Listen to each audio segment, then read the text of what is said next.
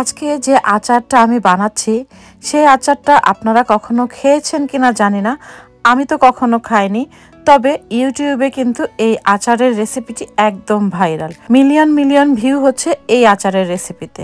ভাবলাম তাহলে আমিও ট্রাই করি আর দেখি আসলেই এই আচারটা কতটুকু স্বাদের এবং কেমন লাগে খেতে। আচারটা তৈরি করার জন্য এখানে আমি প্রায় তিনশো গ্রামের আঙ্গুর নিয়ে নিয়েছি। হ্যাঁ আপনারা ঠিক শুনেছেন, আঙ্গুর। আঙ্গুর দিয়ে আচার বানাবো। আঙ্গুরগুলোকে একটু ধুয়ে নিচ্ছি, পরিষ্কার পানি দিয়ে। পানি থেকে আঙ্গুরগুলোকে তুলে পানি ঝরিয়ে নিয়ে একটা টাওয়াল দিয়ে এক্সট্রা পানিটা আবারও মুছে নিচ্ছি যেন আঙ্গুরের গায়ে কোনো পানি লেগে না থাকে। এতদিন শুধু জানতাম আঙ্গুর ফল টক, আঙ্গুর ফল টক। কিন্তু আঙ্গুর দিয়েও যে আচার তৈরি করা যায়, আসলে কখনোই ভাবিনি। তো আচার তৈরি করার জন্য মুছে নেওয়া আঙ্গুরগুলো প্যানে দিয়ে দিলাম। দিয়ে দিচ্ছি এখানে হাফ টেবিল স্পুন মরিচের গুঁড়া, ওয়ান স্পুন হলুদের গুঁড়া, আরও দিয়ে দিচ্ছি ওয়ান ফোর্থ কাপ সরিষার তেল। স্বাদ মতো লবণ দিয়ে দিচ্ছি। আমি এখানে প্রায় ওয়ান স্পুনের মতো লবণ দিয়ে দিলাম। আরও দিয়ে দিচ্ছি টু টেবিল স্পুন চিনি। আপনারা চাইলে গুঁড়ো ব্যবহার করতে পারেন। এখন এই গুঁড়ো মশলা এবং লবণ, চিনি সব কিছু আঙ্গুরের সাথে ভালোভাবে নেড়ে মিশিয়ে নিচ্ছি। আমি হুবহু যে রেসিপিটা আছে মানে ইউটিউবে যে রেসিপিটা আছে, সেটা ফলো করছি না। আমি আমার মতো করে একটু কিন্তু মডিফাই করে নিয়েছি। ঢাকনা দিয়ে ঢেকে দিলাম আঙ্গুরগুলোকে রান্না হওয়ার জন্য। একটু সময় রান্না হওয়ার পরেই দেখবেন চিনিগুলো গলে ক্যারামেলাইজড হতে শুরু করে আর আঙ্গুর থেকেও কিন্তু অল্প পানি বের হয়। এরপরে মশলাগুলো যেন পুড়ে না যায়, এখানে আমি প্রায় তিন টেবিল স্পুনের মতো ভিনেগার দিয়ে দিচ্ছি। আর যে কোনো আচারে ভিনেগার দিলে আচারটা অনেক দিন ভালো থাকে আর আচারের ফ্লেভারটাও কিন্তু অনেক ভালো আসে। ভিনেগার দিয়ে ঢাকনা দিয়ে রান্না করার পর কিন্তু আঙ্গুরটা অনেকটাই নরম হয়ে যাবে।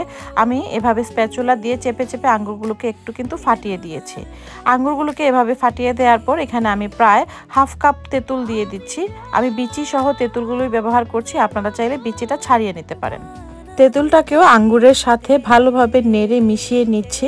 আরও দিয়ে দিচ্ছি এখানে প্রায় টু টেবিল স্পুন কিশমিশ কিশমিশটাকেও আঙ্গুরের সাথে ভালোভাবে নেড়ে মিশিয়ে নিচ্ছি। আর এখানে আমি আচারের মশলা গুঁড়ো করা দিয়ে দিচ্ছি ওয়ান টেবিল স্পুন এই মশলাটার মধ্যে আমি দিয়েছি ওয়ান স্পুন গোটা ধনিয়া ওয়ান স্পুন মৌরি ওয়ান স্পুন পাঁচফোড়ন এবং ওয়ান স্পুন সাদা সরিষা। এই সবগুলোকে আমি তাওয়ায় টেলে নিয়ে এরপরে গুঁড়ো করে নিয়ে দিয়ে দিয়েছিলাম পাউডারটা, এক টেবিল স্পুন। আচারের মশলাটা দিয়ে ঢাকনা দিয়ে ঢেকে দিয়েছিলাম। এরপর ঢাকনাটা খুলে আচারটা কিন্তু তৈরি হয়ে গিয়েছে। আর আচারটা নামানোর আগে আবারও আমি সেই আচারের মশলা অল্প একটু পরিমাণ উপর থেকে দিয়ে দিচ্ছি। এতে করে ফ্লেভারটা অনেক বেশি সুন্দর আসবে। আর আচারটা যখন এরকম আঠালো হয়ে যাবে আর উপর থেকে তেলগুলো ভেসে আসবে, তখনই কিন্তু আমাদের আচারটা তৈরি হয়ে গিয়েছে। চুলাটা বন্ধ করে, ঠান্ডা করে আচারটাকে এভাবে একটা বাটিতে নিয়ে নিলাম। আপনারা এয়ারটাইট কন্টেনারে করে কিন্তু এই আচারটা সংরক্ষণ করে রাখতে পারেন।